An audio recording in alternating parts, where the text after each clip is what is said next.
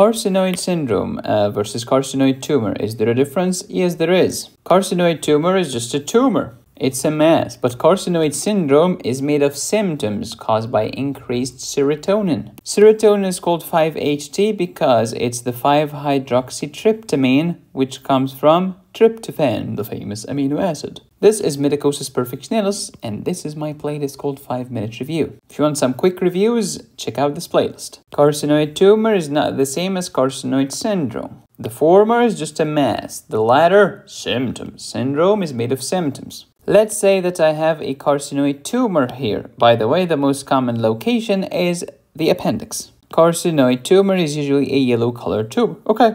Is this a carcinoid tumor or a carcinoid syndrome? So far, it's only a carcinoid tumor. It's not a carcinoid syndrome yet. Why not?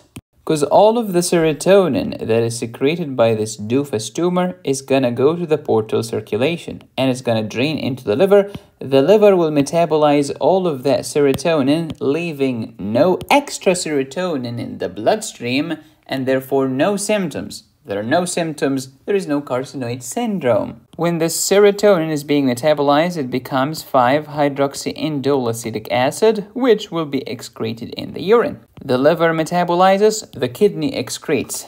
But what if later this carcinoid tumor metastasized to the liver? Now there is carcinoid tumor in the liver. Now some of that serotonin will be dumped onto the hepatic veins, which will take it to the inferior vena cava, which will take it to the right atrium, right ventricle, lungs, left atrium, left ventricle, aorta, all over the body. Now, your body will suffer from carcinoid syndrome symptoms which are related to excessive serotonin in the systemic circulation. So the moral of the story is, before the liver, you have the tumor with no symptoms. After it metastasizes to the liver, you have the tumor and you have the serotonin symptoms, what we call collectively carcinoid syndrome. Tell me about serotonin. It's the 5-hydroxytryptamine. It's a neurotransmitter. It's made from tryptophan. It is secreted by neurons, gut, and platelets. It's part of the platelet granules. Who metabolizes serotonin? MAO enzyme. You find this in neurons, you also find this in the liver. After serotonin has done its function in the synapse, it's going to be reuptaken. How can I prevent the reuptake? Give me a selective serotonin reuptake inhibitors. This will increase the serotonin in the synapse because no one is metabolizing it. No one is breaking it down. So it keeps piling up. Carcinoid syndrome symptoms are caused by too much serotonin in the serum, which will cause, are you ready? Too much itching. It's caused by the serotonin. It's also caused by histamine because carcinoid syndrome has serotonin. Everybody knows this. It also has high histamine, high bradykinin. Almost no one knows this. Increased GI motility will give you secretory diarrhea and cramps.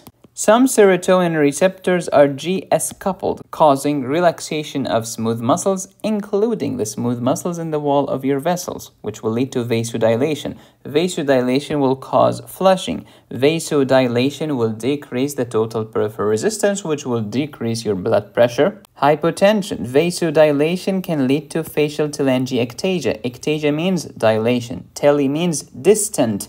Angio means vessel. It's the dilation of distant vessels, such as small vessels in your face. It can also cause vascular violaceous macular rash. Some serotonin receptors are GQ coupled, causing constriction of smooth muscles such as bronchoconstriction, bronchospasm, which gives you wheezing, and SOB, which stands for shorts of breath because I'm a good guy, I do not cuss. After the tumor metastasizes to the liver, it's gonna dump all of its serotonin onto the hepatic veins. Some of the tumor can even metastasize to the right side of the heart, not the left, the right, because the inferior vena cava is gonna take you to the right side of the heart.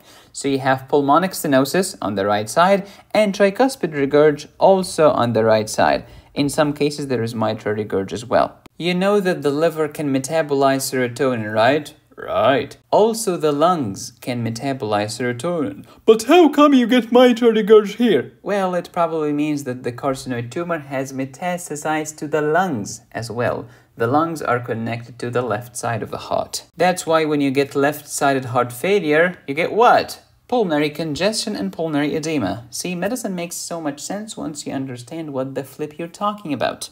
Other carcinoid syndrome symptoms include glossitis, by the way. Tryptophan can give you 5-hydroxytryptophan. It can also give you kynurenine. The 5-hydroxytryptophan will give you serotonin. Serotonin can give you melatonin, or it can get metabolized into 5-hydroxyindoleacetic acid, CU, in the urine. The kynurenine will give you niacin, which is vitamin B3. Now, let's say that I suffer from serotonin syndrome or carcinoid syndrome. What's going to happen? All of my tryptophan will go this way to make tons and tons of serotonin, leaving less tryptophan to become niacin. And that's why when I have carcinoid syndrome or serotonin syndrome, I can suffer from pellagra, which is vitamin B3 deficiency, niacin deficiency with the famous three Ds diarrhea, dermatitis, dementia, and finally, death. So, a patient with carcinoid syndrome suffers from diarrhea for two different reasons. Reason number one serotonin is directly causing diarrhea.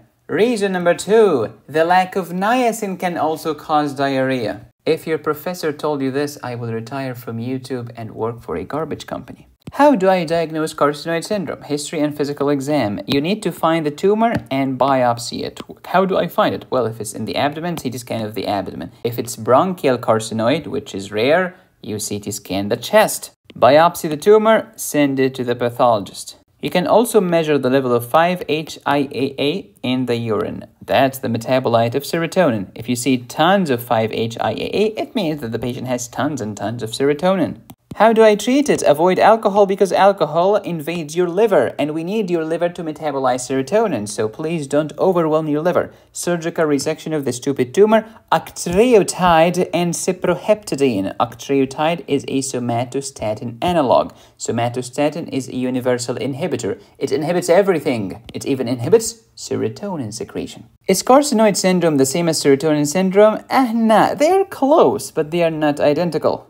For example, serotonin syndrome has muscle rigidity, hyperthermia, myoclonus, delirium, but carcinoid syndrome did not have these symptoms. Carcinoid syndrome is usually caused by a carcinoid tumor that metastasized. Serotonin syndrome is usually caused by drug-drug interactions. What is octreotide, a somatostatin analog? Somatostatin is a universal inhibitor. We use it for hyperprolactinemia because it inhibits prolactin release. We use it for acromegaly because it inhibits growth hormone release. We use it for GI tumors and pancreatic tumors because octreotide is somatostatin analog, which is a universal inhibitor. It's going to decrease serotonin, decrease VIP, decrease gastrin, inhibit glucagon release. It's a universal inhibitor. We can also give it for esophageal variceal bleeding or acute variceal bleeding because it decreases splanchnic blood flow and it inhibits or decreases portal hypertension. It's a universal freaking inhibitor. Believe it or not, somatostatin even inhibits its own secretion. Just think about that. Side effects of octreotide include nausea, vomiting, diarrhea because you inhibit constipation, and it can increase your risk of gallstone because it inhibits CCK. CCK wants to keep the bile moving, but when you inhibit CCK, you get stasis, which can increase your risk of gallstones. What the flip is cyproheptadine. Cyproheptadine is my buddy. Why? Because it's antihistamine, it's also anti-serotonin. All types of serotonin. That's why you can give cyproheptadine to treat serotonin syndrome or carcinoid syndrome. Because it inhibits serotonin receptors. Here is carcinoid syndrome in a nutshell. Pause and review. Don't forget that carcinoid syndrome patients can suffer from pellagra as well. Can carcinoid tumor cause a carcinoid syndrome even without metastasizing to the liver? The answer is yes, if it's a bronchial carcinoid. What is the fastest test to diagnose carcinoid?